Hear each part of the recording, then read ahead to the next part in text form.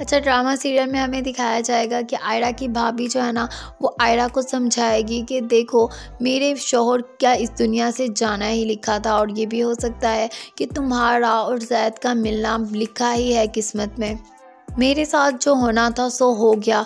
लेकिन मैं हरगिज़ नहीं चाहती हूँ कि तुम जो हो, वो ज़िंदगी में घुट घुट कर जियो। तुम्हारी खुशी जैद के साथ ही है, क्योंकि अगर जैद है तो तुम्हें कोई नुकसान नहीं पहुँचा सकता। जैद के अलावा दुनिया तुम्हारे लिए इस तरह से है, जैसे बेमायनी हो, क्योंकि जैद के बाप के पास इतनी पावर है कि वो हमारे साथ कुछ भी करवा सकता है। देखो तो तुम्हारे भाई को ही इस दुनिया से ले गए।